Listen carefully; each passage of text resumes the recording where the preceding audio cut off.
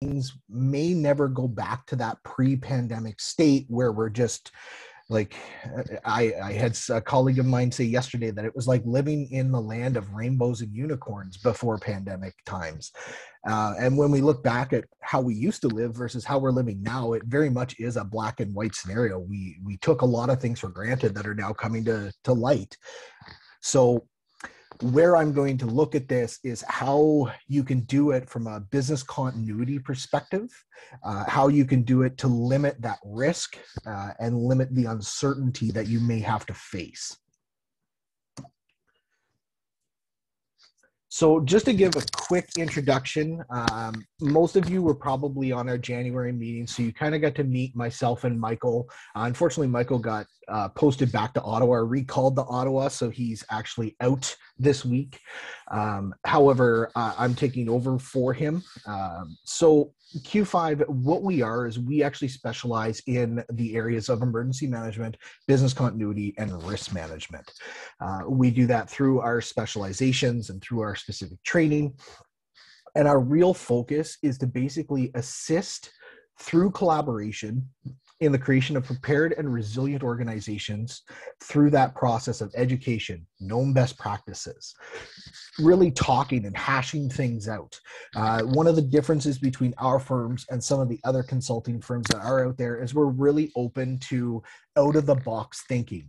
And if you really have a weird idea but don't know how to implement it, don't know what to do with it, sometimes we can sit and we can go through it with you. We can really show you the other angles uh, and really kind of solidify what really could be done with with something that is traditionally not a, a normal business practice or not something that we would normally look at in day-to-day operations.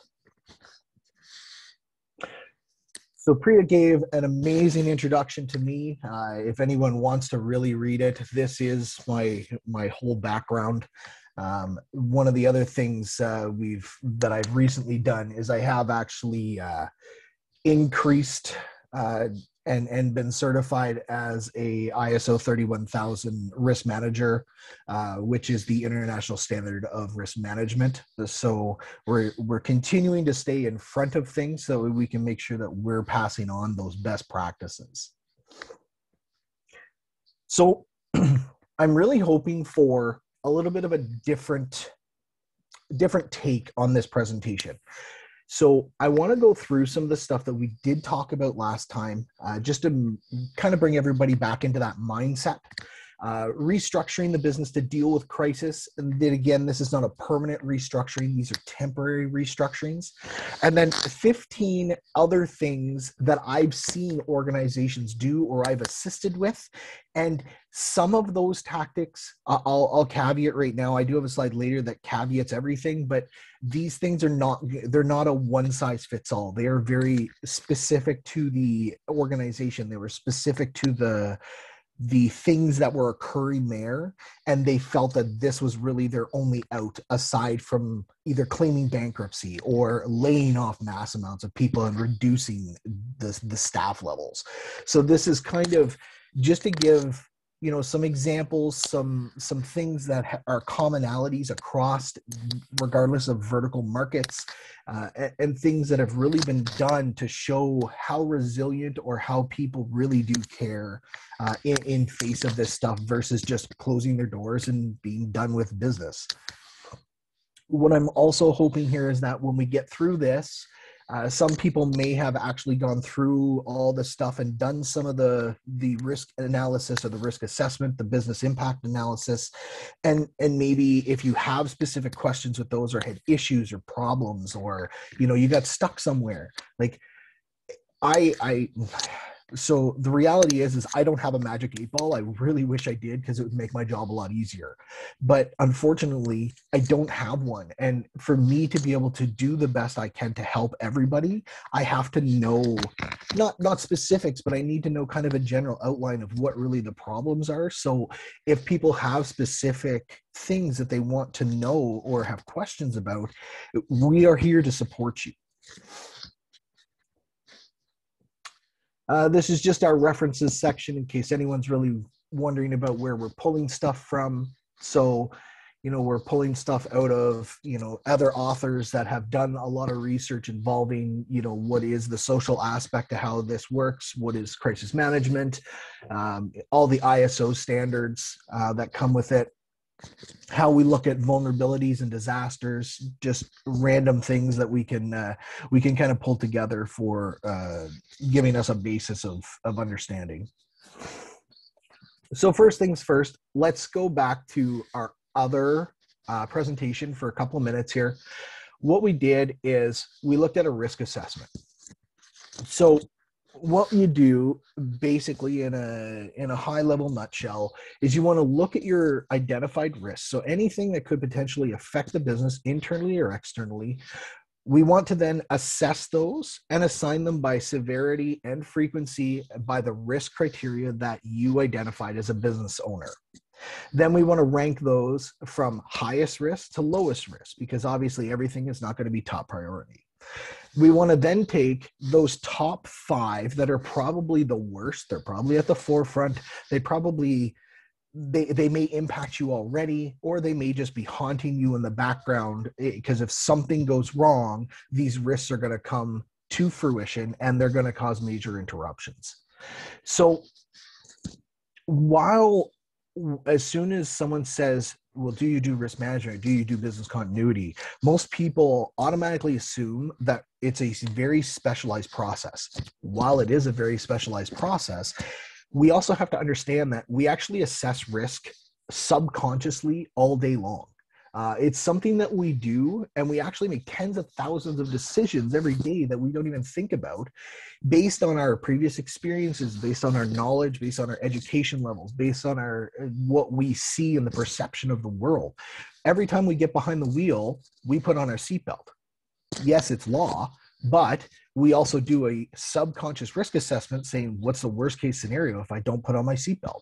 Well, there's a lot of worst case scenarios. So we put it on we abide by that law because through time we saw that you know not wearing a seatbelt was bad for us or the potential for additional injury and up to and leading to death could occur because we weren't wearing seatbelts. So now that whole process has changed the laws to say it's now a mandatory requirement. People still don't wear them i mean most people will but there are some that won't uh, for various reasons. And it is their internal risk process that says they don't have to. Um, other examples is you know if you have to drive to the office you make subconscious decisions. Okay i have to leave the house 20 minutes early. Oh but i want a coffee. I got to leave 25 minutes early. You're doing what's called the time estimate which is actually part of risk management. So you basically said i have to be at the office at 9 o'clock. I can't be late because if i'm late then my bosses get mad at me.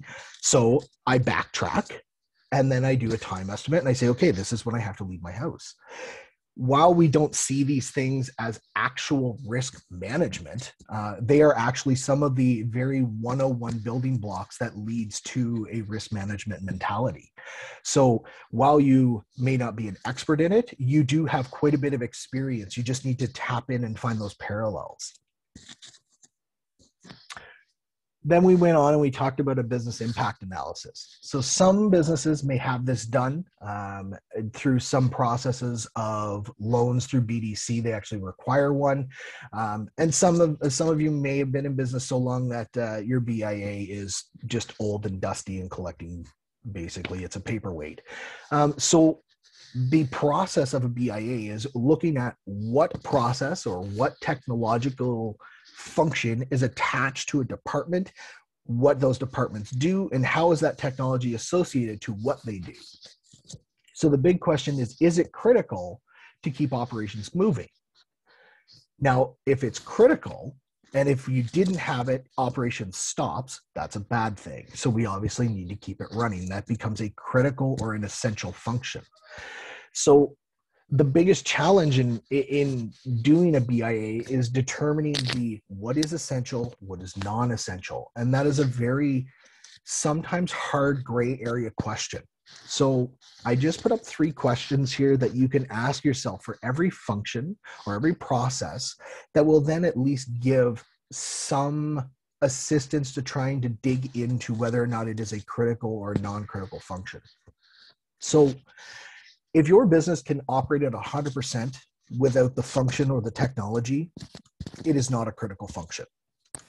Now, I'm not saying that you can operate indefinitely, but if you can operate for a day or three days or a week without the function until it comes back online, it's really not critical. If it will affect your functions and your operations, at what percentage can you continue without it? So if you can operate if it's lower than 50% then it's you're starting to look into that kind of that critical range. If you can operate at 75% for a few days until it comes back online it will create a backlog but it's not it's not a make or break if you're getting into below 50% where it's going to have a major impact on functions and on business and on whether that's selling products or whether that's selling services then then you're starting to look at a major influx uh, or a major issue. So then the third question is what are the independencies with another function or another department which requires that technology? So this is where while you say oh we can work at 75% for a couple of days it's not a big deal when you start looking at all the interdependencies, then you start to see the additional fallouts from other departments. And then it starts to cascade where we look at one department and it's, oh no, we can work with that. But we don't automatically associate that function with a bunch of other departments. So for example, sales software, some sales software has an inventory management system behind that sales software.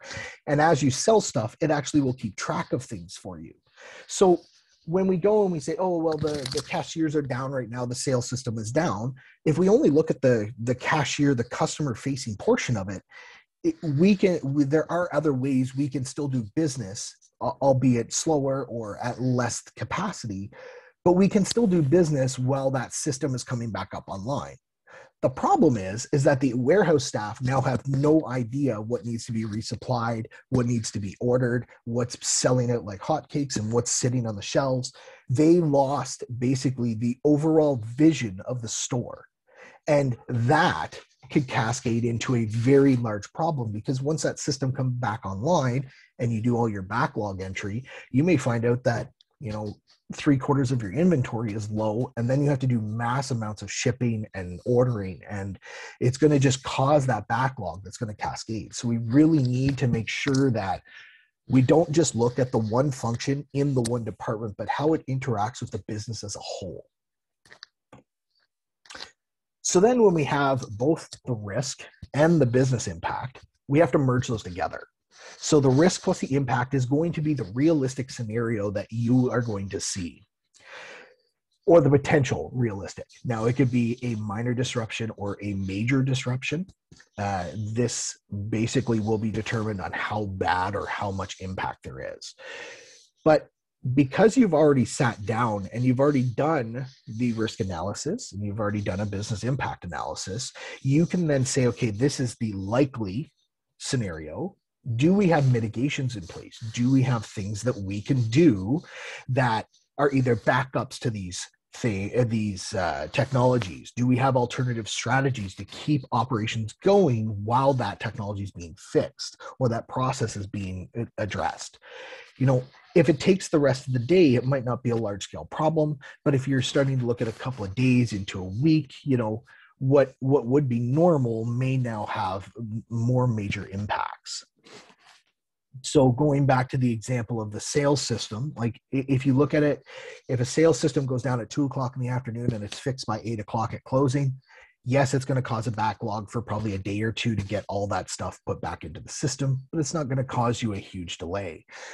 If it's down for three or four days and there's a lot of traffic and you're doing a lot of online transactions a lot of curbside pickup that could cause major issues in the system because people are now relying on that management software to say things are in stock online.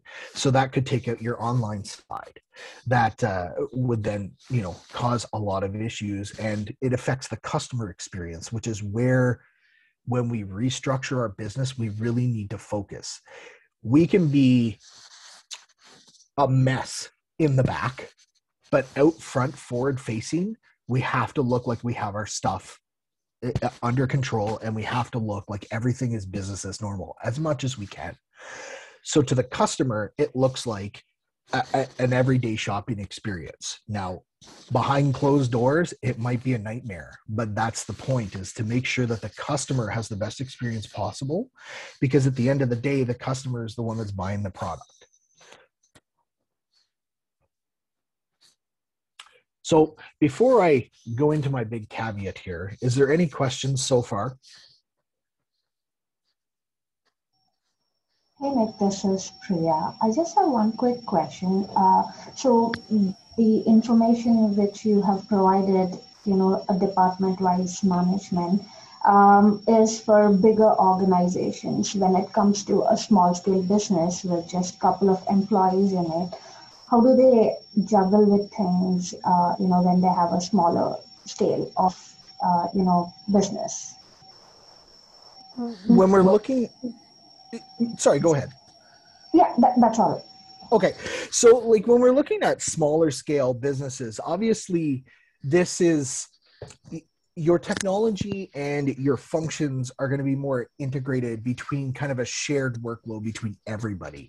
So you're not going to see as much disruption based on a technology because you don't have very many in-depth expensive you know shiny technologies. You're doing it off of like for myself for example i work from home on a macbook pro and i do most of my work at my desk at home for me there's not really a bunch of technological stuff because i work with other colleagues that sit in their home and work. So our biggest risk is what happens with mass internet failure so if we all lose our internet, one, we then have to resort to phone lines to talk, but we then can't share documents. And then it starts to affect what we do. Now, we have workarounds for that. I mean, we can, you know, drive to each other's houses and drop stuff off. We could ship things through UPS same day. If there are other mechanisms that we can do that. But if it was to happen for a month or two months, we would start to feel that pain because of the fact that it's just such a long time to be without that that simple technology that we all take for granted which is the internet. Now if the internet's gone for two months that's a bigger problem. But um, for small businesses that only have a few employees you're probably not going to see that delineation by department so the big the big takeaway here in doing those risk assessments is that the risk will stay the same. The impact will change because it's not based on department it'll be based on business as a whole so you can kind of remove the department function and just do it as if your business was one department because you're probably it, it's just a scale thing. I mean, you you could put in departments and who's responsible for HR and who's responsible for shipping, but the likelihood is is that there's probably overlap and people are probably supporting each other as as things get busy. So it's probably easier to remove the department and just go with the business as as one function to at least map out where there could be potential gaps or weaknesses in those processes. Does that make a little more sense, Priya? Makes sense. Thank you. Perfect. Okay. So, the one thing I want to caveat here before I go on is that these things that I discuss or that I give examples on, before anybody does anything, you should go to your respective finance counselors, to your legal departments, or to somebody who has in depth expertise in certain areas. These are things that I've assisted with, that I've done based on the business understanding their own vertical market and what they need to abide by. So, for certain things, if they're a regulated industry, they have certain requirements that they have to abide by, and they're the experts in those industries, in those vertical markets.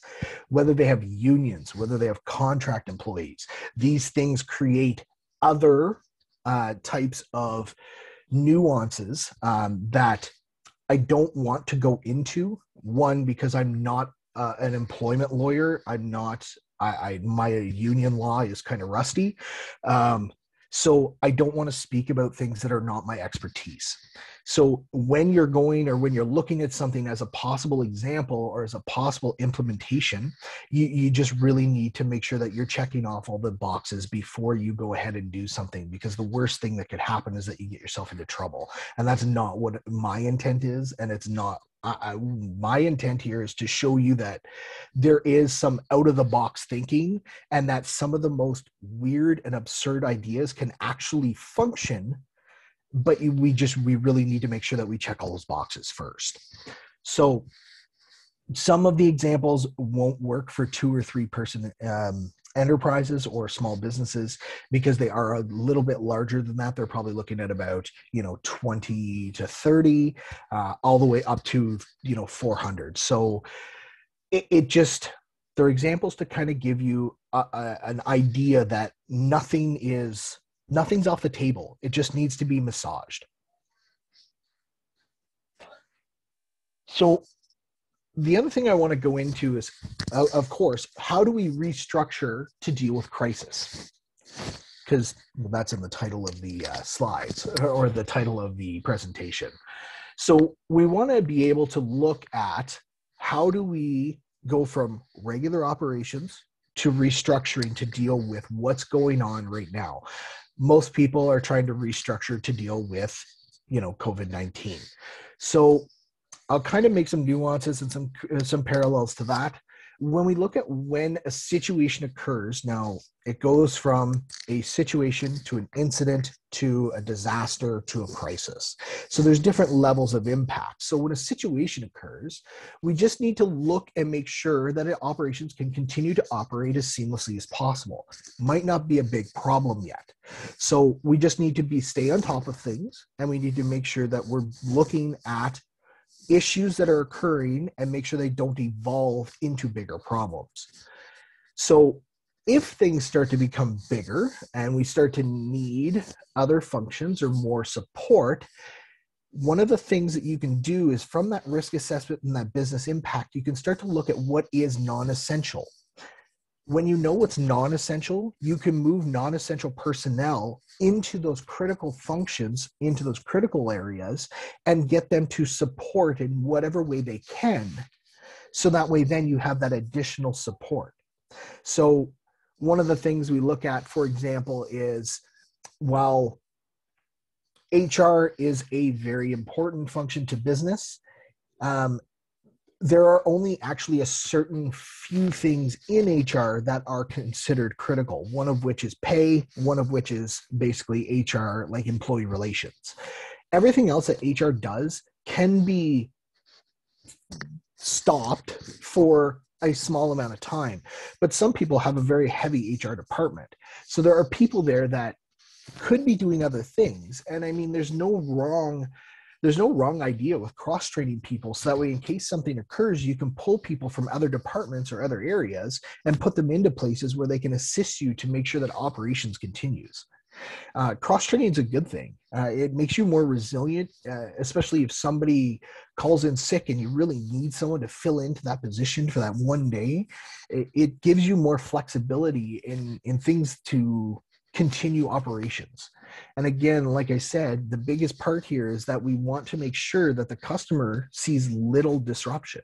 So even though everything like I said earlier, even though everything might be going, you know, sideways in the back warehouse or in the back where the customers don't get to see it, by shifting all those people, you might actually be reducing what the what the customer sees. Um, and then for larger situations that become a crisis or disaster, there is a specific methodology. It's known as crisis management, um, and there are ways to break out a hierarchy. The one challenge to that is that crisis management uh, for businesses that are less than 20 are going to be difficult because you're already at a disadvantage when it comes to the amount of employees or the amount of people that are even in your business.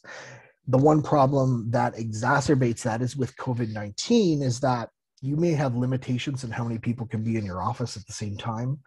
Or the other real on uh, unfortunate event to this is that you may lose 20 or 30% of your staff due to symptomatic cases where they have to isolate based on public health information.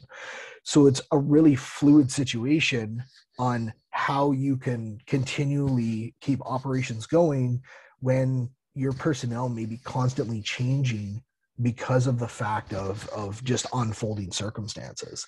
So it is really a balancing act and that's why cross training uh, and at least basic cross training can really create that resiliency across departments or across functions of the business because then at least other people can slip into those positions for a temporary time they can help support and then they can move back to the regular functions so in a small business that has 20. Um, it is called a crisis management team. So it doesn't have to be elaborate, but it basically functions around all those critical functions and it has one critical concept uh, that needs to be addressed. So the critical concept is that you need to break your hierarchy into two.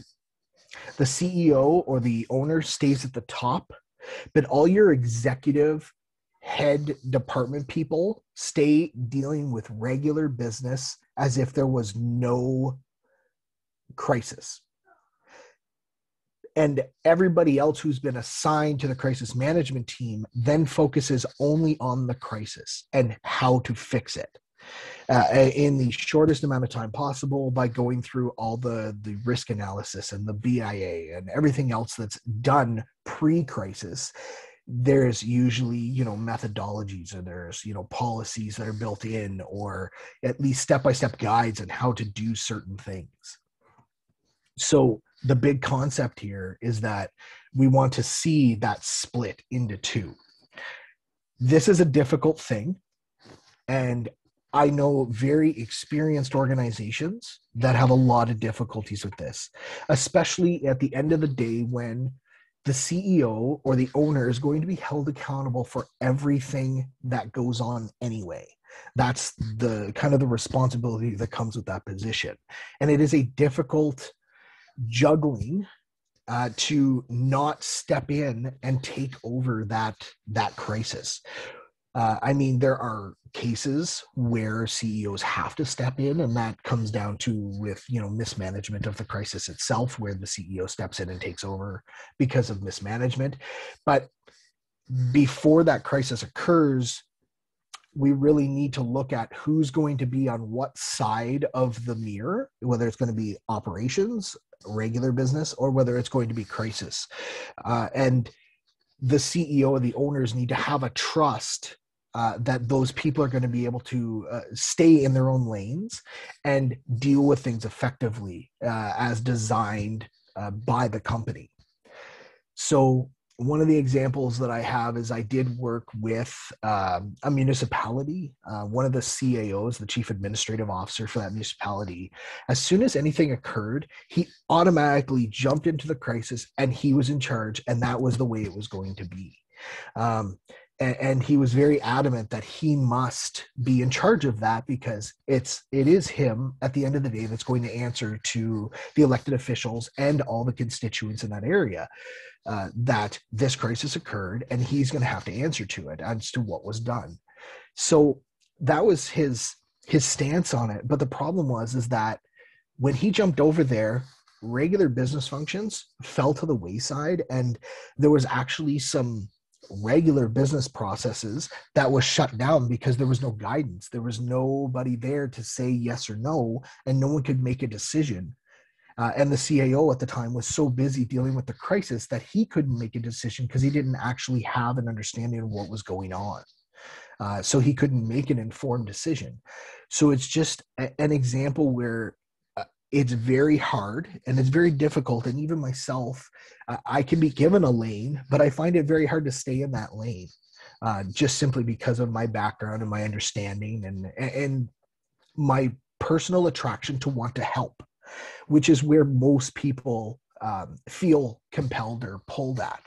Because when we see a crisis happen our first thing is that we band together and we all deal with it but the reality is is that regular business functions have to continue to occur and we need to leave people there to do that to make sure that happens.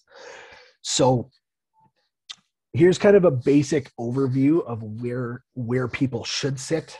Um, i know for small businesses you're probably not going to have the c acronym roles such as your operations officer your information officer privacy officers. You're probably not going to have those but it gives you an an idea at least saying that department heads if you have department heads should stay on that regular business side. And your crisis management team should be supervisors should be subject matter experts in those other areas. So that way then they can best assess and deal with the crisis as fast as possible. Because the goal is is that they want to get in front of the problem deal with the problem and then get back to normal operations so that way we can go back to being one unit um, we want to make sure that we can do that as fast as possible uh, to limit the amount of disruption. So, crisis management teams, what do they kind of do? Well, in a nutshell, they take charge of the situation. They determine the facts by either fact finding or at least getting updates as to what has occurred. Um, they then tell the story. And by tell the story, I mean they tell it to uh, first to the CEO, because he needs to be aware, he or she, the executive management team, so the regular business side.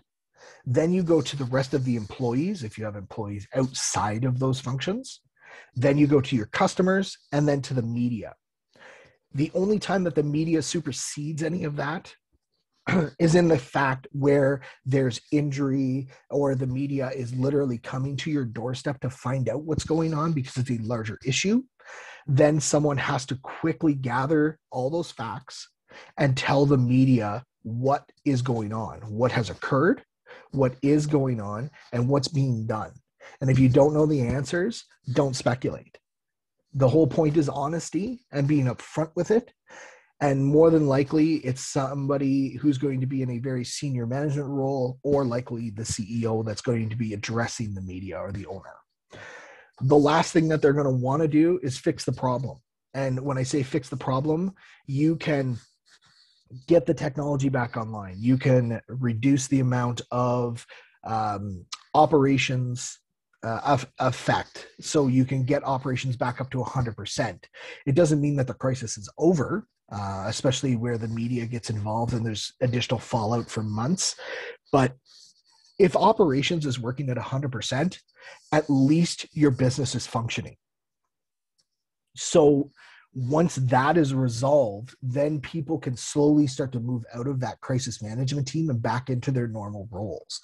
It doesn't mean that you're not going to hear about the crisis later on down the road. It doesn't mean that it's still not affecting certain things, but it's being managed regularly through regular operations and regular business functions. So it's no longer a crisis, it's now just a situation again that again you just need to constantly monitor. So this is great for something like a flood. This is great for something like a fire or for an injury, a workplace injury that gets publicized. These are things that have a definite end date. We understand that you know a fire occurs the fire went in the fire department shut up put it out. Now we have to basically recover the building and get back to operations. We understand that there's a finite endpoint in that. Uh, same with a flood. Damage done gets recovered and repaired. We go back to operations injury occurs well person's taken care of they come back to work boom we're back to operations. So in a pandemic environment this is where it becomes challenging because there is no end date. Even the extreme experts that are that we listen to all the time that we're taking our guidance from there is no end date on this. And this is causing probably the biggest challenge for everybody across every economic value between every vertical market because nobody knows when the end date is. So how do we know when we can start moving people out of crisis management and back into normal operations? Because it's so fluid. So, one example of that is we thought we kind of had things under control and we were moving uh, okay. And then we started to see provinces open up and we started to get back to a little bit of normal operations.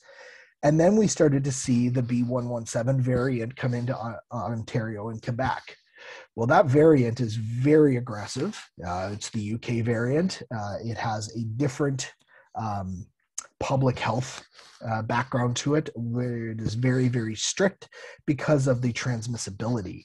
So that changed everything. And I think people really got kind of caught with that because they were starting to get complacent and starting to get comfortable with okay so things are kind of now getting normal again so let's pull people out of that crisis management let's get them back into normal work and let's move on which is great that's what we want to see people do but we have to stay on top of that incident it doesn't go away so right now i mean we've been in pretty much aside from permanent lockdown since pretty much christmas I mean, my family is a family of five. We've had nobody in our house since since before Christmas because of the public guidance, uh, because that's what's required of us.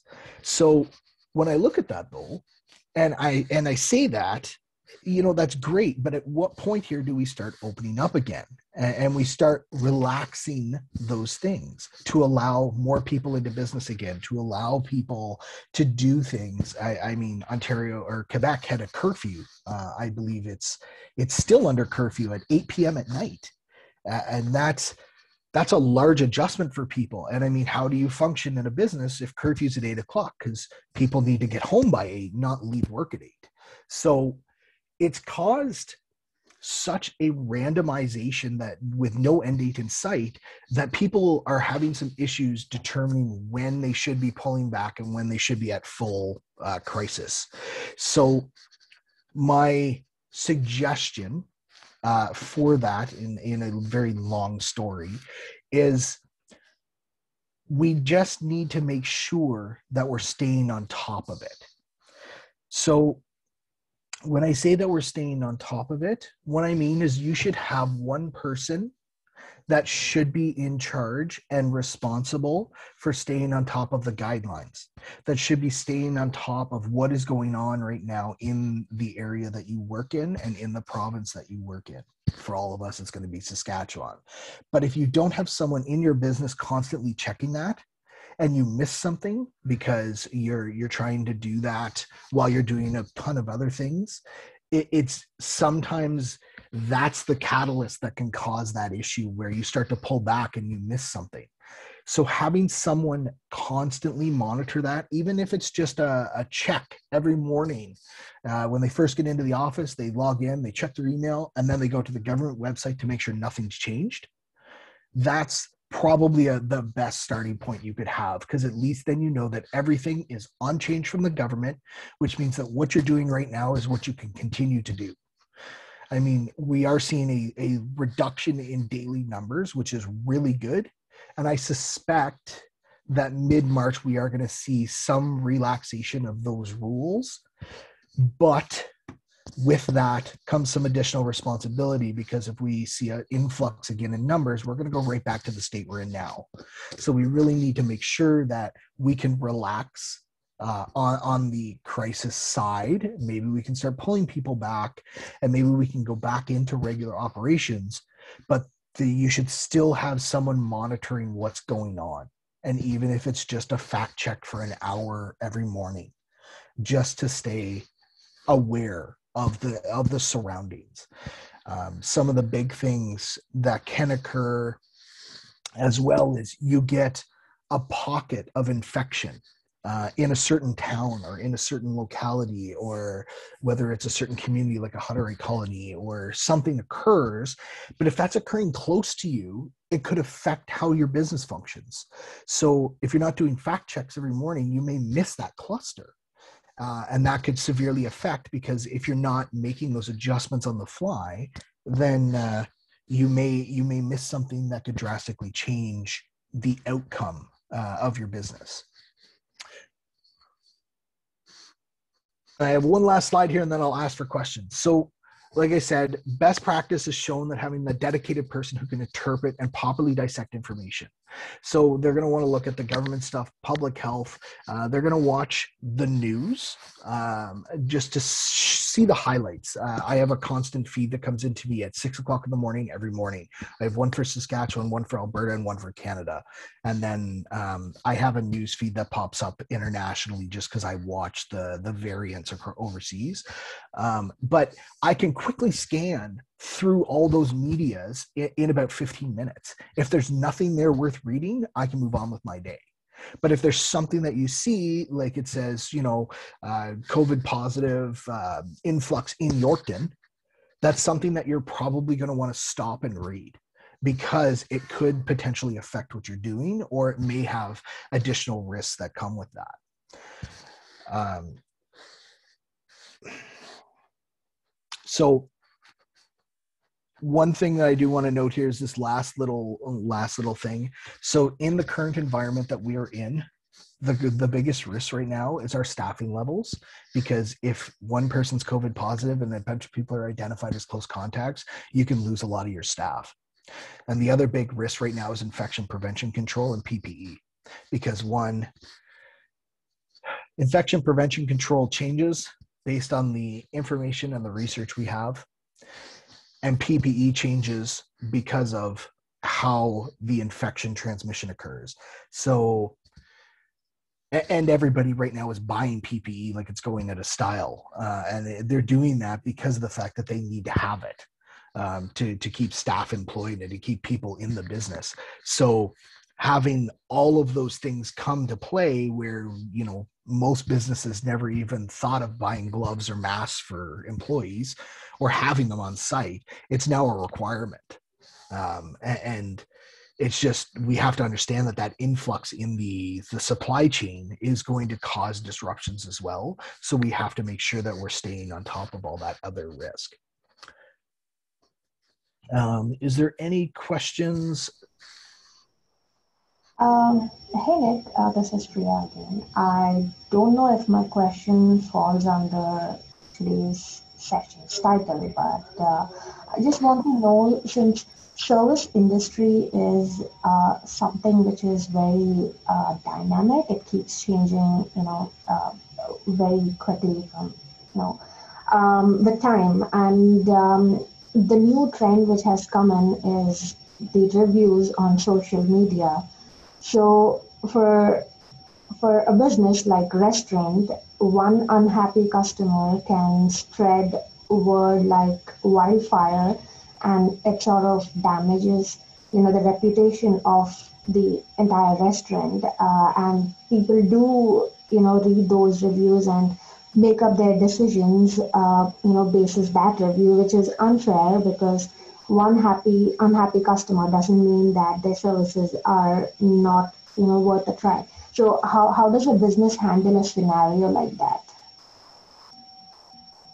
So specifically when it comes to uh, bad media attention mm-hmm. so the old mentality is that all pr is good pr well, I disagree with that old adage because bad PR is really bad. Um, the way that I've always kind of understood it is that if you do a good job for one person, they're going to tell one or two people. If you do a bad job for one person, they're going to tell 10 to 20. And that's how you get into that problem. And the creation of social media has made it so easy to spread information and the likelihood is is that there's also that anonymity factor that allows people to feel anonymous online so they feel more free to actually express their opinion um, which is where a bunch of the media concerns come in because everyone not only has an opinion which is great but sometimes that leads to misinterpretations or leads to miscommunication. The one thing that I've always suggested to businesses is that if you're getting attention on any of your social media feeds, you need to answer people. It stops a lot of problems. It stops rumors. It stops people from taking things out of context. And be honest when when you post your replies to that. If someone says, "Oh, I had the worst experience ever," in your response, say, "We're sorry to hear that. We are here to make it right. Uh, you know, please contact us and we will discuss." Uh, some of them are going to continue to to hound that on social media. And the big thing is that you want to show to people that you are there to correct the mistake. People have a brand dependency or a brand um, that they prefer, not because the brand is better sometimes, but because of the customer service that comes with it. So, personally, I judge where I buy my stuff based on the atmosphere and based on the value that the employees or the the company treats me with. So if I'm treated with respect, if I'm seeing even if there's bad reviews and I see that they're addressing those bad reviews and they are addressing them and they're dealing with them and they're making things right to the best they can, that to me shows that they care and I think a lot of people are in that same kind of middle area where, you know, we want to make sure that we're getting what we ask for. So, I mean, if, if I go to a restaurant and something is, is subpar or it's not what I ordered, I do voice that. I personally call the restaurant and have a discussion with them. But if I was a social media person or a review person and I put it online saying, didn't get what I ordered, not happy, the best thing you can do is reach out and say, wow, we're sorry for that. When did you order? You know, how long ago? How can we make this right? Or you can just stop the conversation and go, we are so sorry for that. He just let us know, um, you know, the next time you're in, uh, refer to this tweet or this social media post, and we'll give you 10% off.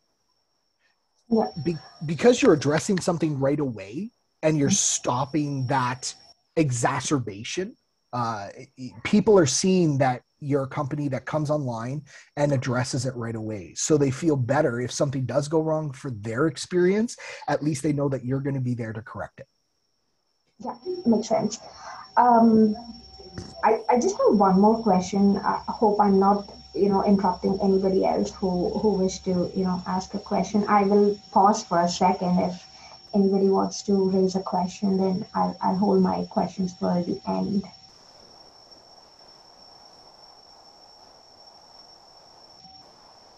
Okay, uh, looks like uh, we have no more questions. So again, uh, Nick, I don't know if how much relevant this question is to today's presentation, but uh, one thing which I have witnessed as a customer, uh, you know, uh, from the start of this pandemic is there are a few people who who do not want to, uh, you know, follow the guidelines of wearing a mask or doing social distancing, and there are a few very difficult customers to handle.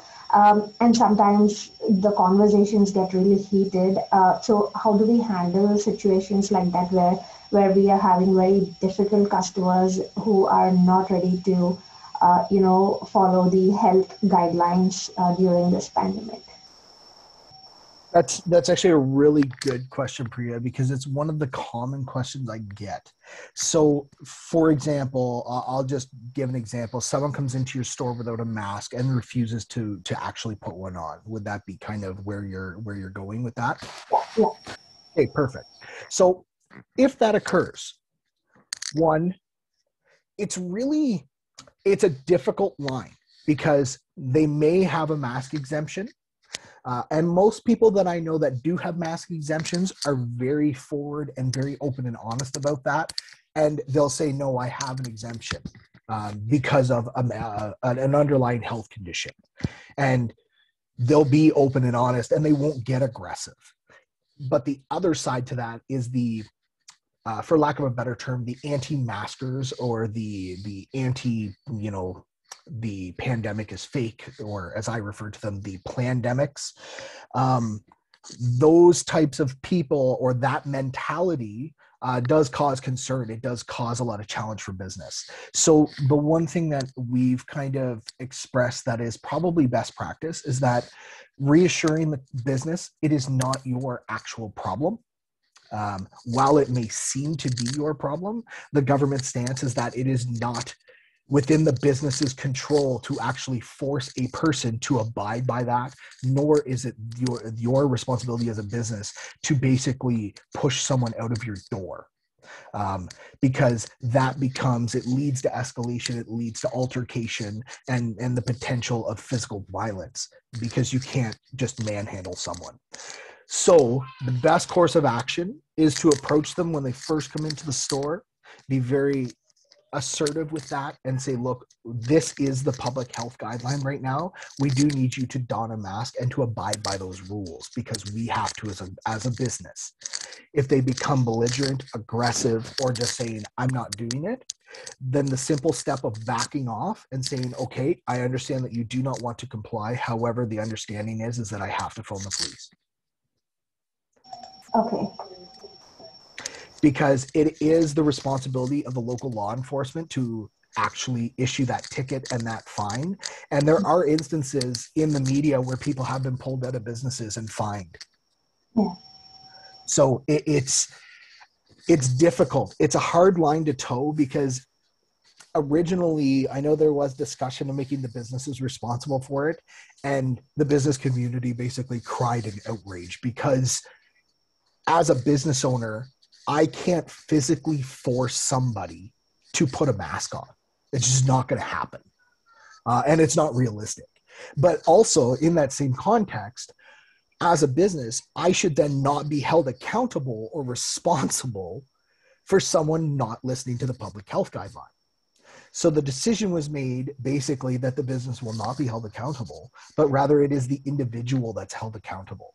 So the best course of action then is to is to then inform local eh, authorities because it is their decision then to either come to the site and deal with that person or to simply you know say okay well it, it, happened just take a record of it and then if anything occurs or comes out of it at least you have a timestamp um, to show that this is when it occurred so you can go back into your logs one of the other things that we do suggest is that you create what we call a COVID log. So if you're not uh, doing active sign in, sign out of your business, uh, which would be near impossible if you've got customers coming and going, at least if there's an incident that occurs, have it logged.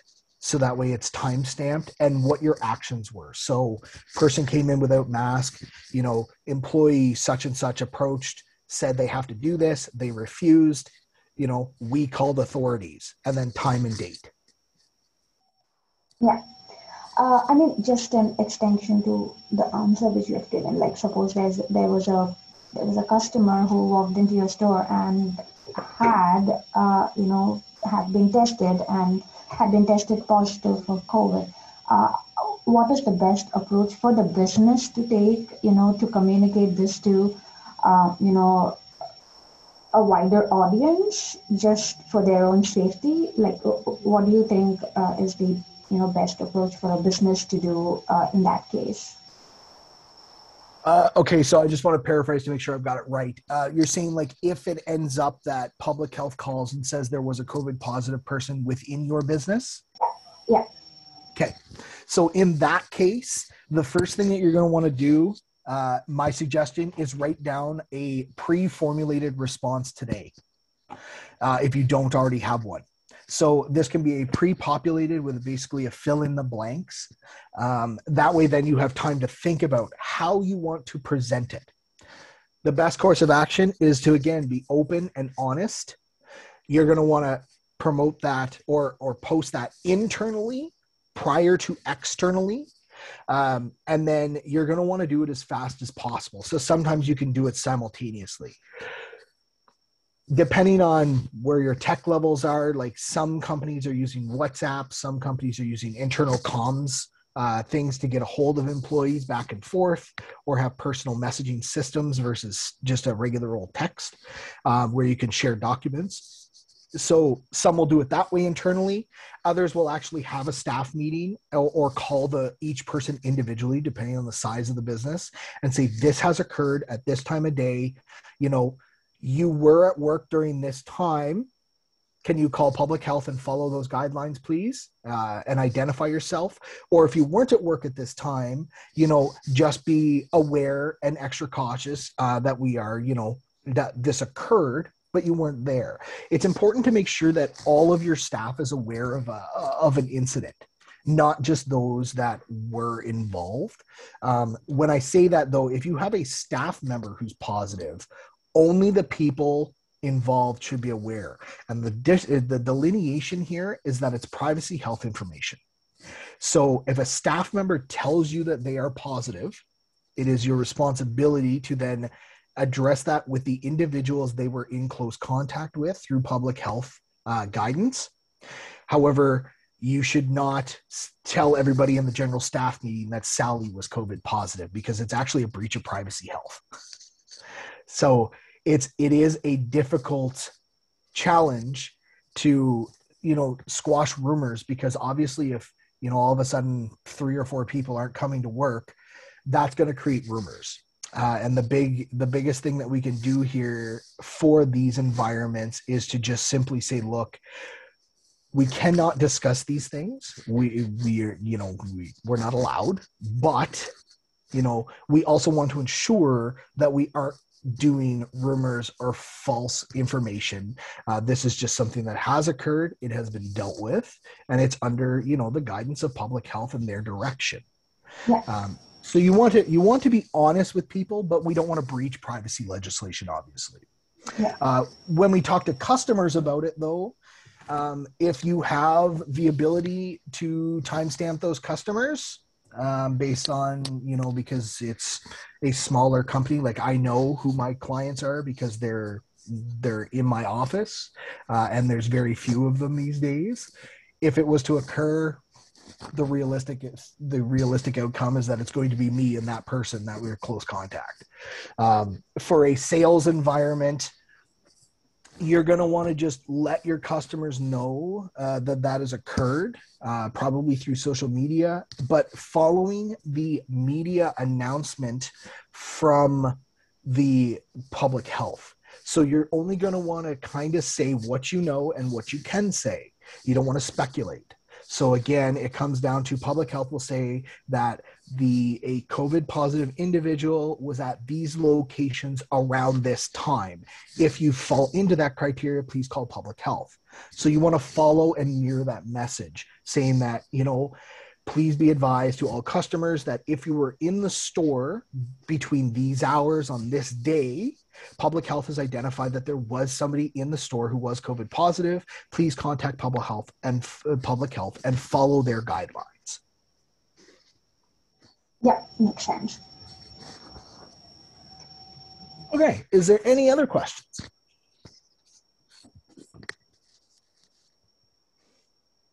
Okay, hearing none, I'll move into the last the last uh, section here, which is basically I've broken them down into four categories. So some basic business acumen or business business 101 um, how we can reduce some overhead how we can increase some sales and then some real creative thinking. Now when i say real creative thinking i mean some of this stuff was last ditch effort. Uh, as you'll see some of them are kind of maybe harsh uh, maybe dark um, but basically the difference comes down to if we have to start the unfortunate reality is that we have to start laying off people, which is probably the worst case scenario. The the reality after laying people off is closing our doors permanently. So if we want to keep the company going, but have to face that bad reality that somebody's going to have to go, how do we really deal with that? And, and, that's a difficult conversation because I'm sure, like most of you, I fall into the same boat my colleagues, my employees, the people I deal with, they're not just a, an employee number. They're not just another person. I treat them more like family uh, and friends. So having those difficult discussions um, in a large enterprise where an employee is just a number is much easier than having that difficult conversation with somebody who's been a friend of yours or worked with you for years uh, and has done good work and it's for no fault of their own or yours. It is simply from a business perspective that you have to lay them off. And that is a very hard conversation to have. And the unfortunate reality is that some businesses may get to that. So while some of this creative thinking is dark uh, or very out of the box, non traditional. Um, some of these things were thought of as alternatives to really having those conversations and what they could do to mitigate outside of doing a mass layoff. Um, and again, not everything here is going to uh, work for everybody. Uh, some of it may be common sense to some people, and other people may be, may be surprised by some of the things. Or maybe that you've just been in crisis for so long that having somebody else say it will remind you of it. Because when we get into crisis, we put blinders on and we can only focus on so much stuff. Crisis creates more blinders because it creates more stress and and a more difficult environment. So sometimes we are actually closing ourselves off to the bigger picture, uh, and then we don't see certain things that may be actual common sense stuff. So for business, regular business, number one, lead by example. If you're not willing to do something as an owner, as a CEO, there is no reason why you should expect your employees to do the same thing. Your employees don't have as much skin in the game in the company as you do. So the fastest way to lose face is to go and collect 100% of your paycheck and cut theirs by 50% or cut their hours by half. You will create such a negative environment that you're more likely to have people leave and be on unemployment or leave and find another employment or another position based on the fact of poor uh, just at a poor example and i use that one to to highlight really the worst case like what you really could do as a leader. Um, not that uh, anyone by any means on this call would ever do something like that but it just highlights how easy it is uh, to to lose face to an employee. Um, so the other thing that leading by example is that you know if if you're there and you're talking to everybody in in a staff meeting and you're saying you know what? Here's the reality uh, and this kind of ties into number two be brutally honest about stuff. If the company's losing money every month and you are literally coming to the fact where you can't function anymore or continue in that environment you need to tell the employees because the reality is is that they already know anyway. Um, they they may not know how bad it is but they already are aware that there's something going on because tensions are high and stress is around and it's not the same office it used to be. Sorry i had to clear my throat there. Um, so being brutally honest uh, open, honest, having that communication and those open lines with people about how difficult it really is right now will actually go a long way. Um, employees and people generally will want to understand, uh, and they will actually have an easier time dealing with the difficulty or the crisis if they know what's going on. Um, it's it's kind of counterintuitive because in business we kind of have those things that we keep to ourselves as owners and as, as high ranking officials uh, where we understand that not it's that need to know basis.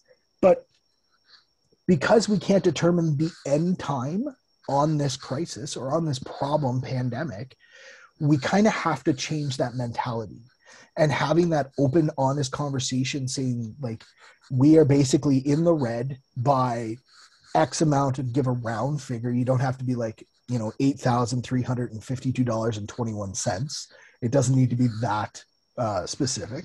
But people need to know that you know what the company's losing money every month and eventually this is going to cause major hardship because we're either going to you know have people losing their jobs we're going to have to shut down operations altogether and close the business and then we're all out of a job.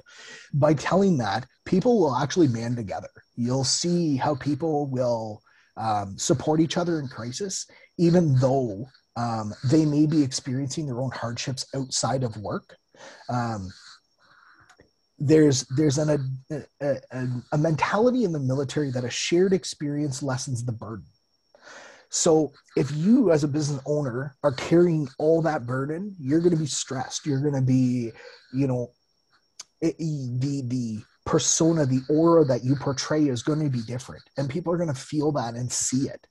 And because you're taking that burden on all by yourself because again you are the owner you have the skin in the game you're the one that owns the company. It's your problem at the end of the day and to be quite honest you're the one that's going to be responsible for any problems that come out of it. But your employees can't help you and can't come up with better ideas if you don't tell them. It's just something that we have to kind of change our mentality around. And i'll be the first one to admit that was difficult for me uh, going into this. And this is what I do for a living. Uh, it was very hard for me to talk to my colleagues and say, look, guys, like basically all of our tenders got shut down. We lost a whole bunch of money and income for the year. We can't, I can't do this. It's just, it's not feasible anymore. We have to find other ways to do things. Um, so I, I had those honest conversations with my colleagues and with my other contractors that I generally partner with. And, and, we discussed through them and we came up with alternatives and we came up with other ideas on things we could do because basically the government tender system shut down for two months uh, when we quarantined in March of last year. And it nearly, it, nearly shut my doors and a bunch of other doors uh, from colleagues of mine just because the fact that we rely primarily as uh, government is our our our, our number one vertical market because that's where we do most of our work. So it, it's difficult when that happens. But by being honest, we were able to sit down and have a realistic conversation of, well, what can we do? Um, and I put that at the bottom because, again, for me, in theory, I could tell people that, but it was so hard for me to do in practice. It's hard to have that hard conversation uh, with with people uh, especially sometimes employees that may be on a lower level or not on the same pay scale as you. But it's something that we have to have, and we have to kind of be open and honest about stuff. So, the other thing is reducing overhead. So, while this may seem very common sense, um, I actually found that a lot of the clients that I dealt with had such big blinders on that they weren't really looking at what they were holding. Um, and when I say that, they had a large warehouse that they were only using half of. Well, what can you do with it? Can you split it and rent the other half out to reduce some of your loss? Can you get out of the lease? Is it worth paying out the cancellation of the lease because it's just better for you to pay the you know pay the the fine or the cancellation fee to get out of it than it is to continue to pay for that and lose money every month. Um, I, I helped a business that uh, they were basically looking through debt consolidation, they were paying about $4,400 a month uh, for vehicles. Um, and because of the fact that they were so concerned about having people out and working, and it, it was a trade based company, so you know you have work vans and work trucks, and but they were so concerned about having people be working and not sitting in the office doing nothing and still getting paid that they weren't actually looking at the fact that they had seven vans sitting out back not doing anything. So we sat down, we looked at it, and we said, "Well, look, these, these vans, what are they doing? Like they're sitting here not doing anything. Can we move them? Can we get rid of them? Can we consolidate them into maybe two or three?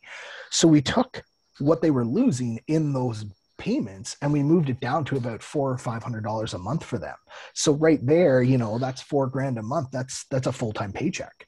So we kind of remove some of that debt uh, out of out of that to give them some more breathing room. And the other big trend that we're seeing right now is we're seeing that people are leaving offices and moving to online platforms. Some of these online platforms are so cheap and easy to use now that almost anybody can do them. Um, one of the big companies that I continually hear uh, is Vendasta. Um, and they uh, they have grown exponentially just because that's what they do. Their specialty is online platforms and helping small businesses get online. And they've been so successful during this pandemic because it's been such a need to switch the way we do operations because in an online platform there is no max capacity uh, the max capacity is then determined by the amount of bandwidth that the online shop can hold, which is usually uh, thousands more than what your actual physical building can hold at the same time. So then the challenge with that though is that how do we then move into those online platforms and how do we manage the amount of actual inventory we hold? Now, these are all conversations that you'd have to have with suppliers and whatnot, but some suppliers will actually hold material and ship directly from supply. So there are instances where you actually don't even have to hold the material therefore reducing the load on warehouse and it can go directly from supplier right to customer um, these are not always going to be the case you're probably going to still have to have that warehouse to, to hold certain items but i mean when we look at it there is that ability um, in the restaurant in injury injury in the restaurant industry um, they've gone from in dining experience to basically takeout. Uh, the in dining experience is kind of it exists still, however, it is uh, right now at a premium because of the fact that uh, you know your capacities are lessened and a lot of people are scared to go into public and sit somewhere because the fact that they they know that the risk of exposure is higher if they're not in their home. So takeout is a big thing right now uh, and the whole support local movement so local restaurants get more traffic because we understand that you know they don't have a big conglomeration or a big subsidiary behind them that's going to help bail them out when they can't meet those end of month uh, bills.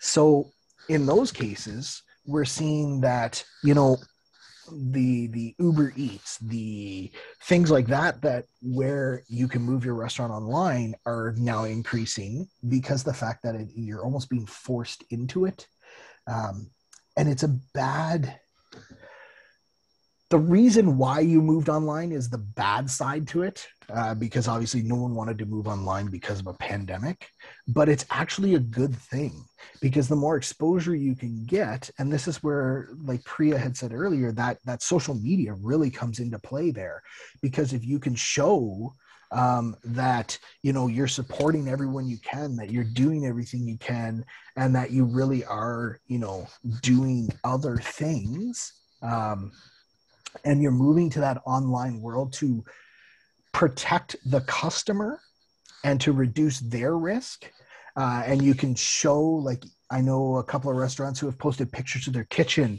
and it shows their staff in like masks and like all the ppe so that way they can ensure that all the food that they're preparing is safe.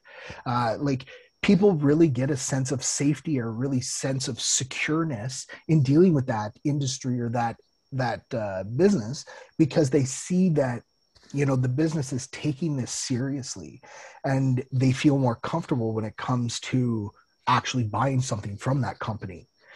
Um, so there there is that side to it as well. I mean you can use social media to push an online platform. Um, you can tell people like a curbside pickup is something that's new uh, that has gained a lot of traction with a lot of places in the last year as well.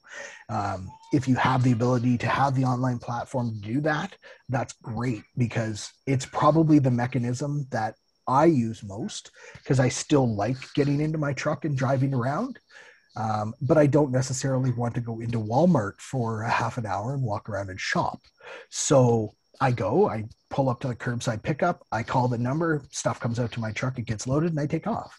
It still allows me to get out. It allows me to go get some fresh air. It allows me to get away from my desk and my computer, but it doesn't put me at an exponential increase in risk. So if you have the ability to go to that curbside pickup, I mean, it, it's a very valuable uh, alternative. And I mean, if it comes to the fact that all it is right now is just putting a sign on your door to tell customers that all they have to do is call the store and you will actually collect everything, like you'll write it down, they can do a phone order, and then they just pull up and call the store and say they're here to pick it up. Like, if that's all you can do right now, that's a step in the right direction because people are going to feel more comfortable doing curbside than coming into the store. And it's not because you've done something wrong, it's just because of the environment and the way that the, the media is portraying everything right now. Whereas the more exposure to the outside world we have, and the more that we are close to people, the more likelihood there is of infection. So people, even subconsciously, um, feel that when they when they walk outside their door uh, and it's not it's not a good or a bad thing. It's just the way it is right now. So how can we increase sales? Well if you have a sales team and sales worked on commission that's great. But what about everybody else in your company? There's you know support staff that are not sales teams. There's you know other people in other parts that are doing support functions and they necessarily don't ever deal with sales. If you have the ability i mean your your biggest supporter of your business is the person that works there. And if you can tell them that you know what we're going to go and institute a new project it says that if someone comes in and buys something and they put your name on it that you know and again this is depending on your profit margin but if you have the ability to to maneuver it and work it that 1% of everything that's sold will go as an additional uh, portion onto that person's paycheck because you have a little bit of profit margin you know wiggle room um, then you know what? Everybody's going to get 1% so if that person comes in and says, "Well, I I bought this because so and so from your company told me to come get it here because you guys would do me uh, you know uh, you, you guys are treat me right. You guys are doing everything you know really secure and really safe. And you know what? That gives me some some pride to shop locally. Um, then you know what? Give that if you have the ability give the the employee a little bit for it. Um, they're going to be your biggest billboards because they understand the company inside and out. And if they understand that the more business you have in volume, the less red the company is, the more business that you have in volume, the more likely it is that everyone keeps their job and the doors stay open. These people are now going to have what's called skin in the game too, because the fact that they understand that if they're bringing in more sales, there that security is there, but they're also going to get a kickback out of it. And I'm not saying this is going to work for everybody. Um, the other thing you can do is obviously the top performer bonuses. Uh, these do not need to be monetary things. So when I say that, if you have the ability to give someone a paid day off, make that the bonus. People want to be at work because they need to get paid. If you have the ability to give someone a half day off, because they've done something awesome or they brought in 10 extra customers this month or that you know they they really controlled that situation really good. It was you know a bad situation and they've done a really good job. Give them a half day. Make them make them show that you appreciate that they're there. Make sure you do it within your limits um, and that the fact that you're not going to you know pull yourself deeper into the red. Um, but these are all little things. And I I use the term of giving people time off for free uh, because it's one of the easiest things as an owner that we can do is just tell someone to go home and they're going to continue to get paid. The other thing that you can do, and it kind of goes into my next example on the next slide, is the idea of bartering. Um, and bartering is kind of an art that's been lost but is still used in certain contexts. And I'm seeing a more of a rise of it now where it's coming back, where people are like, I provide this service or I have these products and you need them, but I could really use this from you. Uh, and sometimes when you do stuff like that, you you have to take into account that you're still going to sell them something at the price that you would regularly sell it if someone was to come in to buy it. But Instead, you're just going to take it in kind for something else that they were initially going to sell you for that same commercial price. So you're just doing a transaction through non-monetary means. The where this comes into and where the top performer bonuses can come into is that if you're doing uh, for example, a trades company can do some work for a local motel or hotel, uh, say replace a replace a sink and a and a toilet in a bathroom as a plumbing company. Instead of getting paid for that, the the other thing you could do is you could say, okay, well, you know what, I really want to give my employees kind of a a weekend getaway, like a raffle type thing. Um, can you comp a night in a hotel? And a lot of hotels will actually do it because the odds are is that most people probably won't ever uh, actually follow through and use the uh, gift certificate so gift certificates are a really good way to get around um, that because they only get used if they're ever redeemed um, i'm not saying give them out on mass but they there is a likelihood um, that they will actually not be redeemed. So you've given something away that could come back to cost you, and you've accounted for that. But the odds are is that right now uh, they may not come back. So then you've um, you've been able to do something extra for something that uh, in in essence will actually cost you nothing in the long run.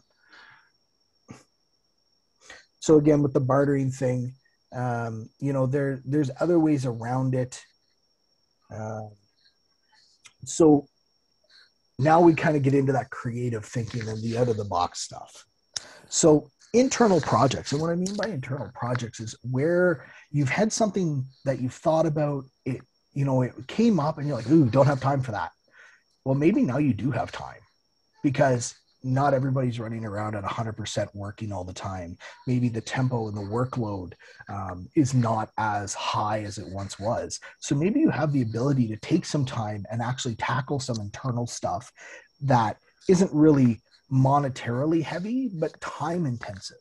Um, whether that's you know looking through the policy book and really building back the policies uh, and doing a refresh, whether it's you know doing a deep clean of a kitchen in a restaurant um, that you know is done every so often but you know maybe we could give it another go just because the fact that uh, you know you've been working really hard and all the new measures and stuff and you want to really make sure you're up to code. So you could go and give an additional deep clean of the kitchen. Um, so by doing that one you're keeping your employees employed. You're keeping them going. You're keeping them working. Um, but at the same time you're doing things that maybe have been put off maybe a bit in the background maybe would be a nice to have done but now you have the time to actually get them done. So now's a good time to tackle it because you're probably not working as as much or as hard as you once were. Um, and then the other thing is reassigning of tasks so if you have stuff that is contracted out so for example hr um, I've seen a large influx of HR tasks being contracted to external parties. Uh, if you have that ability um, and you have the uh, the the knowledge of the employee base, sometimes you can go and it's cheaper to actually train someone to do the HR function than it is to pay the third party company. So if that is the case, maybe it's time to pull back and bring things back to in house where it might be cheaper. Uh, these are things that, you know, there, there's kind of a dual profit to that because now that person who's now reassigned for that additional task, one, they're going to get some additional training, which is always good to have because it looks good on a resume, and some exposure to something new. But uh, the other the other side to that is that you're probably going to end up paying less in the end for the same task to be done. Now there may be bumps, there may be hurdles that go along with that, but sometimes pulling back just because the fact that uh, the bottom line is is that we can't we can't maintain business in the red forever. So if we can reduce um, outgoing uh, or or expenses at this point in time, sometimes it's just what we have to do to survive. So here's where we start getting into the reducing hours at work because we don't either have enough work for people to do or we can't afford to have them. And this is where it gets challenging because this is where the out of the box stuff really starts to come. And you'll see just by the titles that I've got highlighted that they are quite um, out of the box or ambiguous. So, half pay, double vacation time. If you can, some employees would rather take double vacation time and be off double as long. But the thing is, is that they only get half of their pay. So some employees will take advantage of that because some will be like, you know what, I'd rather be at home with my kids and my family, or I'd rather not be at work. Um, and if they don't have that financial constraint, then you know what, they'll be like, okay, the half pay doesn't actually really bother me, um, but I get double the time off, and that's an incentive. So some are going to take advantage of that, some are not. Um, it's simply because of financial constraints or financial hardship or the fact that they just don't like the idea in general.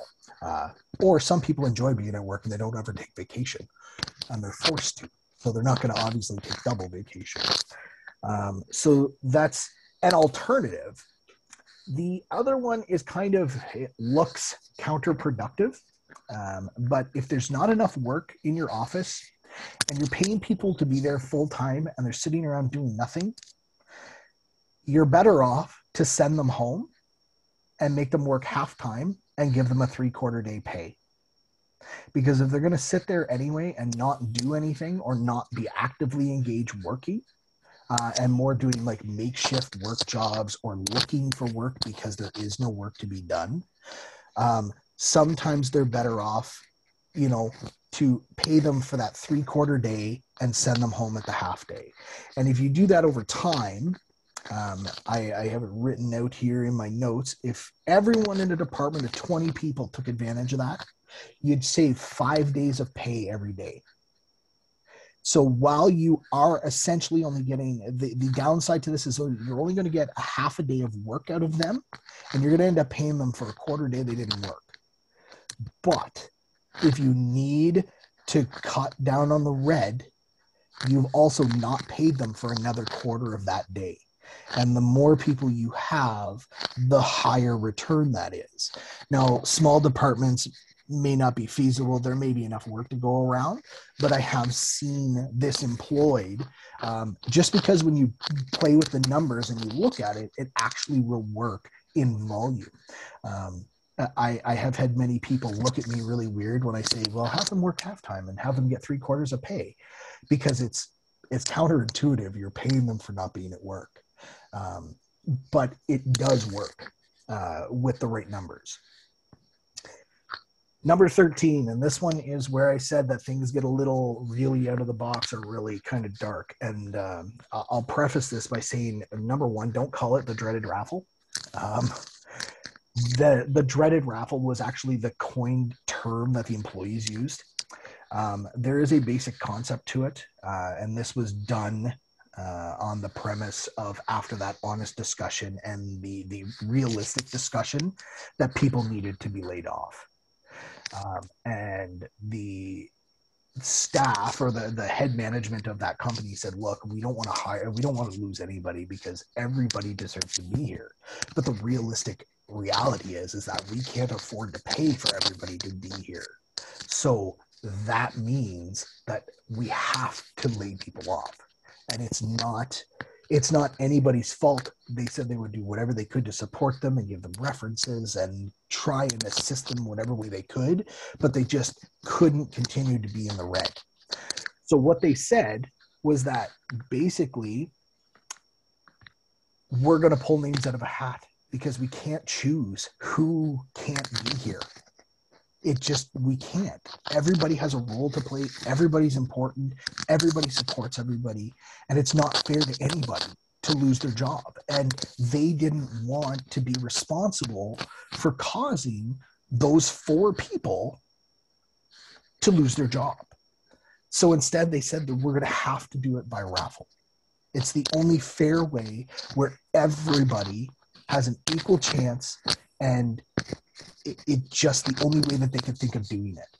And the people in their office actually turned around and said that they would rather um, instead of the raffle they would rather each reduce their hours by f- uh, four hours each week which then covered the 80 hours that they needed to reduce uh, every week so the employees actually banded together and came up with an idea and said, you know what, we would rather share that burden and take four hours back. And each of us go down four hours to cover that loss than to see anybody go. And it was only because of the fact of that honest discussion at the beginning, saying that we have no alternative and there's no way out of this. Um, and it was and it was not something that they they came with like one day and said look this is the reality and this is what we're doing. It was this is the reality and we're open to examples we're open to interpretation we're open to do anything we can to keep everybody here. And this was over the period of weeks where finally it was if we don't lay people off we're just going to close the doors and we're all out of business So it was kind of a last ditch effort to try and keep as many people employed as possible, or kind of commonly more referred to as the greater good. Um, but they just couldn't bring themselves to tell anyone in that company that they were going to be laid off. Uh, so it was only through kind of that dark atmosphere and environment and that open discussion of of stress and laying it all on the line that the employees really came up with kind of something that was out of the box um, because they said that they would rather share that burden because then at least that way they're all employed still. And this may not work for everybody. It may not be something that's going to occur um, but it's just this is how how desperate some people are now getting um, and, and in the reality of the that people even even management and owners understand that everybody right now is experiencing some kind of financial hardship whether it be you know spouses losing jobs or you know bills not getting paid because of reductions in hours and like everybody's feeling that stress. But at the same time if businesses don't pull back and get out of the red then they close and then it just it, it cascades into a larger event. Um, so then kind of lastly, like the staff. Your staff will all have different ideas. They will all have different experiences, backgrounds, knowledges, um, things that they see in their workday that can get put into a different efficiency to reduce time or reduce the amount of money that the company is is pulling out to make some of these things happen. So the employees are really excellent at their job and they do have some real good problem problem solving skills if you identify that large problem, which again comes with being honest. Um, because the fact that in the last example, they, they had to reduce that that red every month and this was the only way around it and they had those discussions over a course of weeks and trying to solve problems that the staff actually stepped up and found a way to solve the problem but if the company would have came and said okay you know what at the end of the week we're laying four people off or even worse, they wouldn't have said anything, and just on Monday morning there wasn't four people in the office, and everyone wondered where they went. Um, it's it's not as likely that the employees are going to feel uh, like they are part of the solution. Um, more so that it's kind of that cold atmosphere where they're just at work to work and then they leave, and that uh, their contributions may not be seen as as contributing to the overall mission of continuing that business. Uh, but like I said at the beginning, uh, the owner should never expect the employee to do that. It's it's not something that the there should be an expectation, but the reality is is that people will band together through crisis. Um, the last example that I have is the anonymous pay reduction. Um, so this was again through a company that I saw extreme financial hardship with. Um, they had no real other alternative uh, to basically start laying people off, and it was actually the staff had come up with this. Um, one guy came up with it and he said, "Well, why don't we just get people to write their name on a piece of paper and just put how much of a pay reduction they're willing to take temporarily?" Until you know we can get back on our feet and get sales back up and we can get out of the red and then we can move forward and then people can get paid back as we get money. And everyone kind of laughed at it because realistically who's going to put their name on a piece of paper and willingly take a pay reduction during this time? Um, so when the two owners found out about that the partners found out they actually went and had a staff meeting and said look we heard this and here's our here's our take on this. They put a box out they put their names on a piece of paper and they showed everybody that they were taking a 50% pay reduction that day uh, until they were back in the black and everybody else was paid up. So they really put forward that lead by example saying that no we're taking 50% right now. And and they actually showed through kind of how much that overall overhead really played into that. Um, and then they said, you know what? If you want to put zero, put zero. But this is what we are doing. We're showing you that we're here to support you to keep you all here. And if this is maybe an alternative, to temporarily solving a problem until we can get back on our feet, then this is what we're willing to do.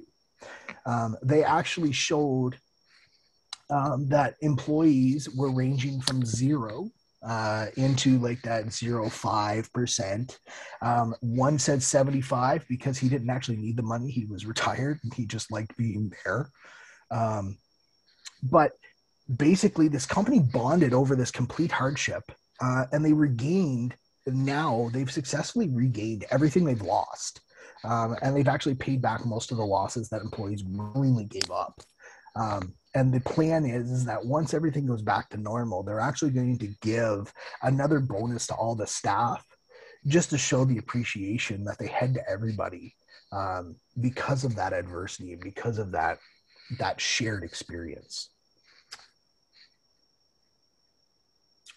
So, kind of in summary here, the last few examples, they're very extreme cases. Um, and it probably, you probably understand now why I put the caveat at the beginning of the presentation. However, through all of that, we can show that there are a bunch of commonalities. Is that everybody here is suffering at some point in some capacity, and that we don't like seeing other people suffer or have burden.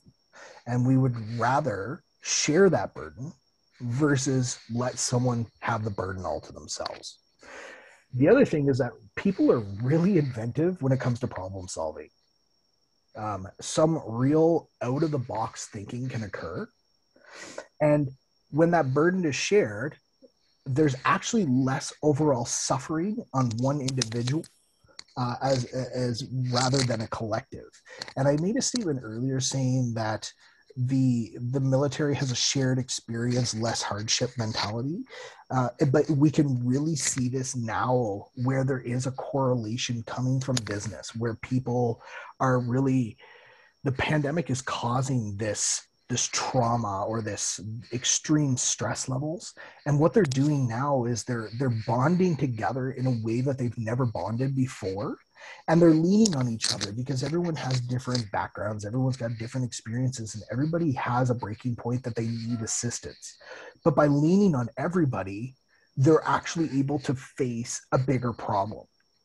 So the big takeaway here is that while business has a certain set of original guidelines um, we really need to start thinking out of the box as to how we can continue business um, and sometimes those examples are not going to be uh, a one size fits all. Sometimes it's going to be specific in nature to the exact problem that you're facing. But creative solutions should not be discounted.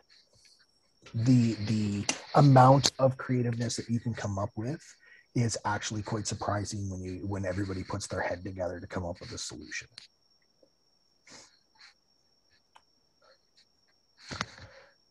Otherwise, I am here to take questions uh, for, I believe, another 20 minutes or so. Um, I appreciate everybody's time today. I know that this is uh, it's kind of that hot topic. Um, the other thing, too, uh, just my last closing comments here is that I understand that it, even if you've done the risk assessment and the business analysis uh, that I kind of presented in the last um, the last presentation, sometimes we don't like to for lack of a better term, air our dirty laundry to a bunch of people. Uh, and we don't like to discuss our our specific business problems in a group. And I totally understand that. Um, I really like to do these presentations in person because we get that more of that social interaction. You can see how people are reacting and you know who's going to talk and who's not. But in, in these, it's a, it's a little more less formal because everyone's got their camera off and you know everyone's in PJs, being comfortable, um, so the big thing here is that if you want to talk, we are here. Uh, my phone number is there, my email is there um, as well. Instead of giving you handouts that is, that address generalities, uh, the other thing that we're doing is everybody that's here um, on the presentation uh, can feel free to call me. I'll give you an hour of my time and we'll go through specific problems. We'll see if we can troubleshoot. We'll see if we can go through some stuff. and we'll see if we can come up with some kind of solution that's specific to you and your market and your your business. Um, these things sometimes can't get answered by general questions and i do try to keep presentations quite general so that way we can get concepts and you know what's happening overall but when we specifically get into a certain vertical market, there are certain things that can be done um, that wouldn't apply to every other market. But to try to go through every vertical, this presentation be eight hours long. So I just want to I just want to let everybody know that I'm here and that I will give you an hour of my time to address specific problems. All you have to do is email me or call me and set up a time. Uh, Priya, I will hand it back to you. Okay, uh, so I will wait for a couple of minutes if somebody has any questions for Nick, or else he did provide his contact information. You can directly reach out to him and you can chat about your business specifically and if there's something which he can help you with. Um, if there is nothing else, we just have some closing comments from two participants. Uh, Sean says, I like the idea of training, but the cost of this might be bad as we do not know the length of the crisis for the return of the investment. And then Les is thanking you for the presentation. He feels it was very informative. Um, yeah, thanks, Jeremy. Um, so yeah, thank you everyone. I did forward you the presentation uh, which Nick has presented today.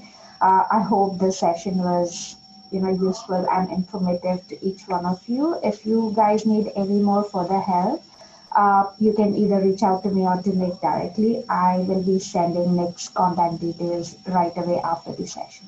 Thank you everyone uh, for joining, especially thank you Nick for taking time uh, out of your schedule and doing this session for us.